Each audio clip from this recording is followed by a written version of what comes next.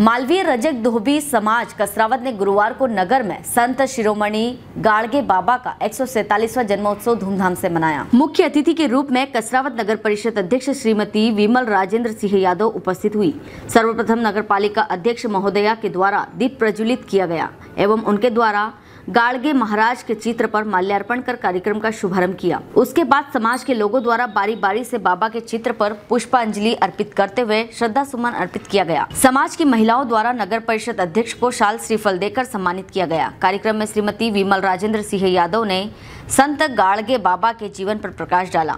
समाज के लोगों को बाबा के जन्मोत्सव की शुभकामनाएँ दी। कार्यक्रम में परीक्षा में एवं खेलकूद में अच्छे अंक प्राप्त करने वाले बच्चों को पुरस्कार वितरित कर सम्मानित किया गया। कसरावत से अकील खान की रिपोर्ट।